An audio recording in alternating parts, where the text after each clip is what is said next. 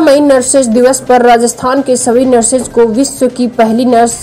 Florence Nightingale के जन्मदिन के अवसर पर केंद्र के समान पदमान का तोहफा मिलने की आस है।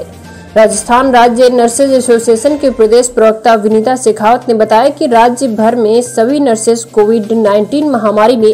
अपनी जान की परवाह करे बगैर एक योद्धा के रूप में फ्रंट लाइन में सेवाएँ दे रहे हैं। स्वास्थ्य कर्मियों के प्रति संवेदनशील सरकार का रवैया देख अब नर्सेज को लगता है कि उन्हें कई वर्षों से चली आ रही मांग केंद्र के समान पदनाम की गैर वित्तीय मांग से नर्सेज को सामूहिक प्रोत्साहन मिलने की आस है। राजस्थान के सभी नर्सेज संगठन और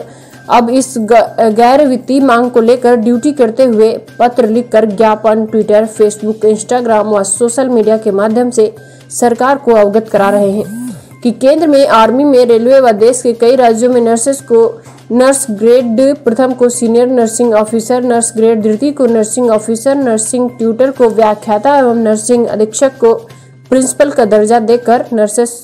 संवर्ग के सभी कर्मियों को एक मनोबल प्रदान करे। केंद्र के समान पद नाम से राज्य सरकार का कोई वित्तीय भर भी, भार भी नहीं आएगा और प्रोत्साहन राशि को वह अन्य जरूरतमंद कार्यों में काम ले।